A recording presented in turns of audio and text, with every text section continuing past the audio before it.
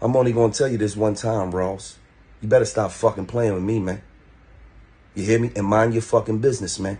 Because you went on a nigga Instagram page commenting about me, calling me out my name, my nigga, for no motherfucking reason at all. This how this shit started. So I'm gonna tell you again, man, leave me the fuck alone, man. I see your little funky ass video. I spend more money on my cow's hooves than you spend on your wife. You're probably right, nigga. Cause I ain't bought caught her, nigga.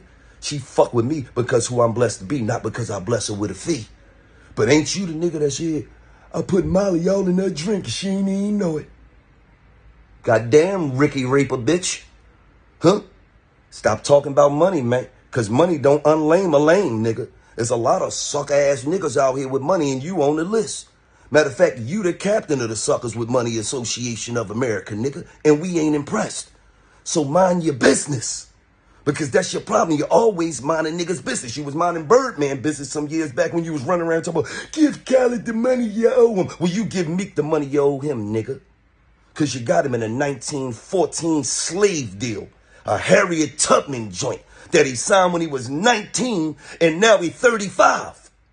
I thought you said a boss is one that guarantee we gon' eat. Well, why you ain't renegotiating with a real nigga? Thank God he fucking with them white boys. He fuck around, be broke, busted, and disgusted fucking with you. He's a hell of a businessman, though. Salute to you, Meek. But stop talking about money, man. And stop pushing that Belaire on niggas, because they don't drink that shit no more. I got the ice electric blue bottle, and I got the lime green bottle that float in the air like Aladdin's carpet. We don't give a fuck. We don't want it, man. Niggas don't drink that shit, man. And slow up on them goddamn lemon peppers because you're about a six piece away from a heart attack, nigga. Leave me the fuck alone. I'm telling you, this ain't what you want like Lil Durk first single, nigga. You better leave me alone. And one thing about me, I'm not no hater. I salute you. Your crib is immaculate, nigga. I'm talking about your crib is one of one, nigga. Unbelievable. But the whole Atlanta know you live dead smack in the hood, nigga. Right off Old National.